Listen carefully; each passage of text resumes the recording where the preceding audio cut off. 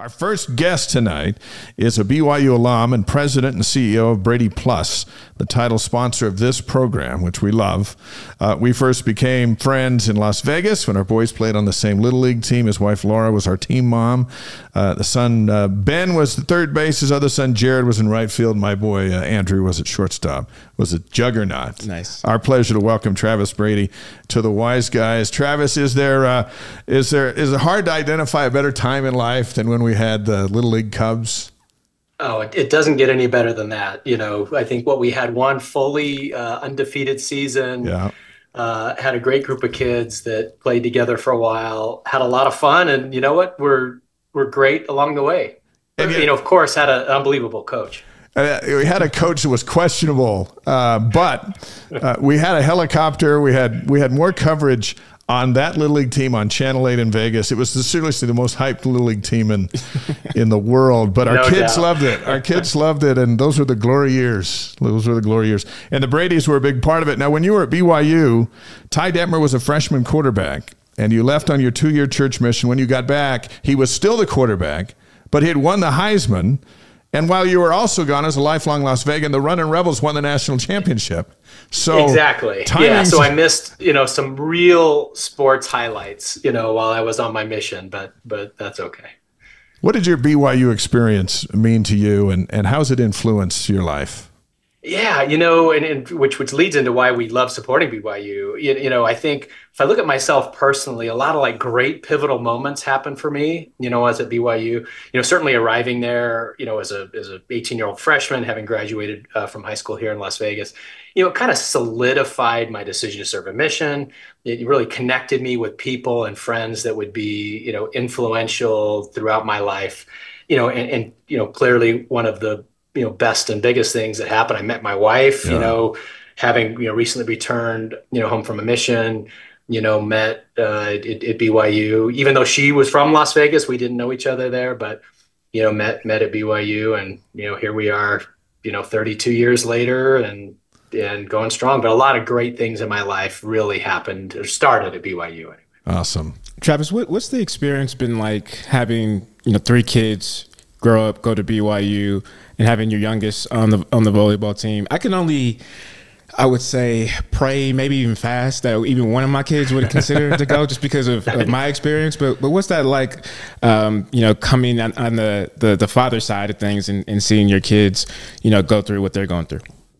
It's been awesome. I mean, all three of our kids have had amazing experiences at BYU as well. You know, um, you know, and it's funny we have now a couple grandkids our, our, granddaughter who's two and a half is already singing the BYU fight song. So, you know, we're either, you know, setting her up for great excitement or great disappointment. You know, you know, of course, not everyone ends up attending BYU for all kinds of reasons, but, you know, for us, you know, certainly there's a lot of like intrinsic value for us, a lot of, you know, history, a lot of memories, a lot of great things that have happened there. So it's been, you know, incredible for my wife and I to be able to kind of share that and see it through the eyes of our kids. You know, if they've, you know, attended, uh, you know, through BYU, uh, you know, met spouses in many cases there as well. And so uh, it, is amazing to see that come full circle. Travis Brady, president of Brady Plus, is on the Y's Guys live on YouTube, Facebook, Twitch, and ysguys.com. Our weekly podcast will be out tomorrow. Let's talk about Brady Plus. It's a much different and much bigger company than the one you took over in 2008, keeping, of course, the company in the family. But now it is massive. What is your area of emphasis as you conquer the world here? Yeah, you know, things things certainly have evolved from you know a third generation family business. You know, started in 1947, but you know we've we've expanded. We've come together with a with really a family of companies. There's really 65 legacy companies similar to our heritage that now you know have come together to join what is now the brady plus family uh, you know representing you know uh, families and businesses coast to coast over 150 distribution centers you know 6000 employees you know really specializing in that commercial you know, cleaning, sanitation, as well now as food service, you know, so everything from kitchen sanitation to food service disposables, can, you know, to go containers, as well as in industrial packaging, you know, so, you know, corrugated boxes, tape, you know, uh, stretch film, all these things that are, you know, everyone's really zoning out, uh, you know, right now talking about. Hey, but, but we all know, have them. We all have it in our homes. you know, we're a company that lives behind the scenes, right? You know, we, we're in the back hallways, we're, you know, wherever we need to be, you know, just, just, you know, helping people shine outwardly and, and, you know, we help them, you know, have what they need and do what they need to do behind the scenes. You know, there's that sign on campus, enter to learn, go forth to serve. And so when you go back, Travis, to when you're a student, considering what you're doing today with, with 6,000 employees and, and the wide reach of your company, did you have any idea that a few years down the road, this is where you'd be? You know, it's, it's an interesting question. You know, people ask that. You know, I grew up in a family business, so people will say, well, clearly you always knew what you'd be doing. Uh, you know, and I grew up in the warehouse. I don't remember my first day. Uh, I vaguely remember the first day I actually got paid, uh, you know, which I'm sure was, you know, something below minimum wage at the time. But, um, you know, there was never like an inherent pressure but I loved business. I, you know, certainly was connected in a really personal way to our company. Uh, not only what we did, but the people in our company. I think there's something really special about the culture at Brady Plus that you know that feels very much like a part of our family. And, and so, you know, as that opportunity arose, as I left BYU, uh, started in a, in a position there, it, you know, it was just a natural evolution. But you know, today to see how the company has grown and, you know, so many more people have joined the family and had so many, you know, great opportunities, you know, it's really something that we're proud of. Well, look, it was 120 degrees down there last week. You don't have to live in Las Vegas forever, Travis. There are other places, especially yeah. Provo, which you which you get to quite a bit because your grandkids are up here. That's right. You know, we have two kids as it stands today up in Utah. That's going to drop to one in August as our daughter and her husband and family are actually moving to Las Vegas. We're slowly, you know, this gravitational pull hopefully is going to pull uh, everyone back. But of course, uh, Jared's still there, and we'll we'll always, you know, be up in Utah, BYU, and a lot of other things that bring us up there that will escape the heat, uh, especially on those really bad days. right, it's it's your, it's your second home, so um, sure. I'd, I'd, love to to interact and, and see you, uh, meet you in, in person officially. Um, and it's it's I, I have had my own business as a consultant. I don't like to say it's it was a business because it was just me, right, right. by myself doing yeah. doing marketing, and um, it, it, was always in, intriguing to you know talk to entrepreneurs and, and business owners of why they feel the need to to help out when it comes to athletics and and specifically BYU and you know getting involved in the Cougar Club and, and with you getting involved with the Y's Guys. And and so that's my question to you. What what is what makes you getting involved in supporting you know ath- BYU athlete, uh, athletes and, and athletics uh, important to you? Yeah.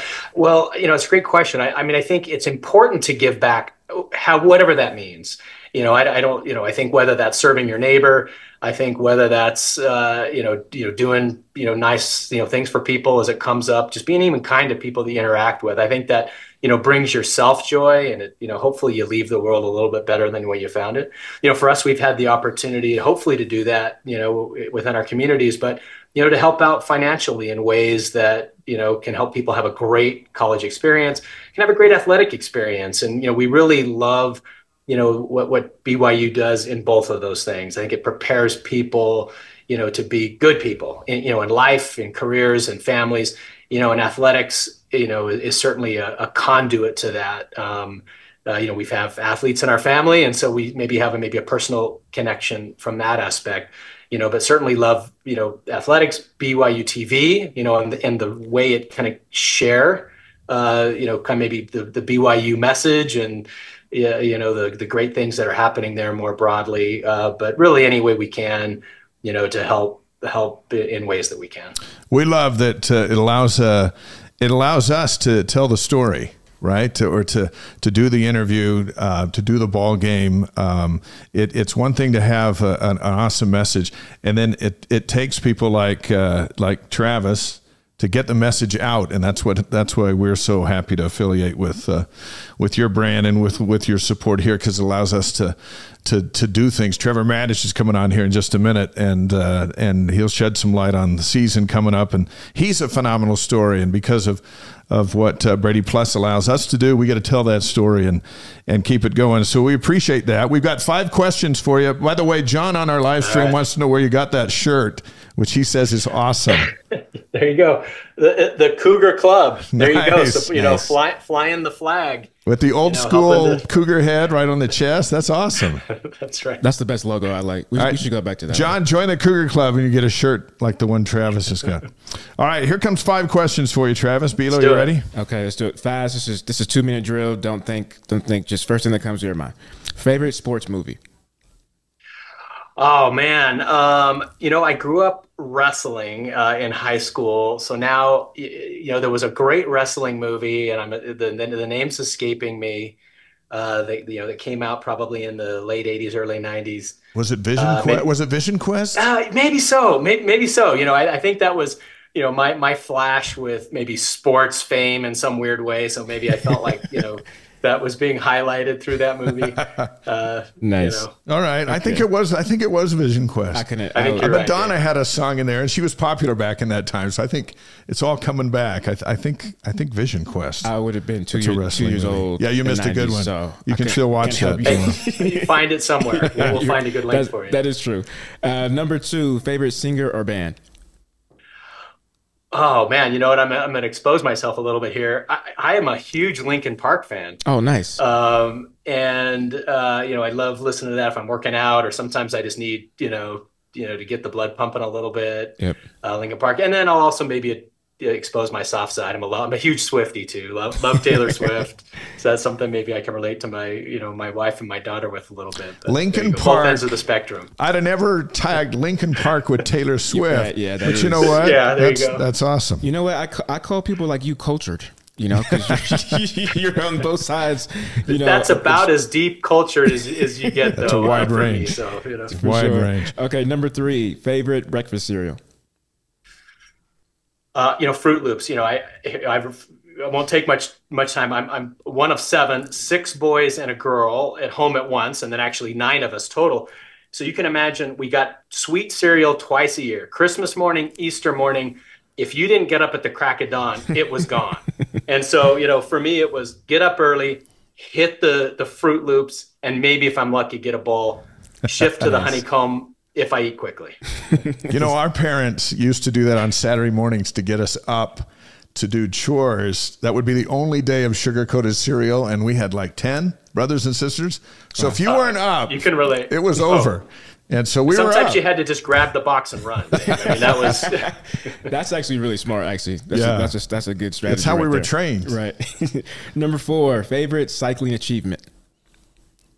Did you say cycling achievement? yeah. Yeah, you like to ride the bike. What's what's the Yeah, best? so I've so I've done uh, LOTOJA. So those who are familiar with LOTOJA, it's a it's a one day bike race from Logan, Utah to Jackson Hole, Wyoming, 206 miles. Yeah. I've I've done that four times, which uh, is great. I think five times and you get some kind of plaque of some kind. I never nice. quite made it to five, but I, I, I would say yeah, that was that was a lot of training. Training was probably harder than the race itself, but but also had some great you know friends that I trained Yeah. with and rode with, and you know certainly was you know a highlight for me. Are you still into that? Are you still riding? Uh, yes, however, not in the 206 mile range. Uh, you know, unless we're counting 10? sort of monthly totals or something like that. Hey, I still I still love staying active and you know, Sure. both physically but also mentally. So, and cycling certainly a part of that. Awesome. Nice. Okay, last question. Favorite aspect of being a grandparent uh, with your wife Laura. Wow, you know, we get uh, we we're like a highlight reel, right? You know, the grandparents come in, we get to like, you know, take them, get them a treat at 7-Eleven. We get to like take them, do all these you know fun activities, and when they get worn out and a little on edge, we just get to hand them back uh, and let you know parents deal with it from there. But you know what? Sincerely, it's it's like I've always heard being a grandparent is like a reward for you know you know, go making it through parenthood, and you know our, our grandkids are awesome. We have two, a third on the way, and uh, you know so exciting. It's Yeah. a it's a reward, but it's also um, revenge on the kids because because my my my mom does that with my boys all the time. 7-Eleven, I mean juice. I'm I, I'll go pick them up. It's at, it's nine o'clock at night, and they're bouncing off the walls, jumping up and down. Got um, fruit roll ups, hanging, you know, juice, and I'm like, what are you? What mom? What are you No doing? question. Grandparent privilege. That's what This that That's exactly Oh, our, what it is. our daughter's so careful; It gets all the healthy food, you know, all that kind of stuff, and we're like, you know, Skittles, you know, from right from 7-Eleven. It's uh, we ruin it all. Travis Brady, president of Brady Plus. Say, uh, good luck with Jared's wedding coming up next month, and congrats on the Super latest uh, yeah. grandchild. Give Laura our best, we appreciate your support of this show. Of course. Thanks, guys. Uh, talk to you soon. All right, that's Travis Brady from Las Vegas, world headquarters of Brady Plus on the Y's Guys. And again, Y's Guys is presented by Brady Plus.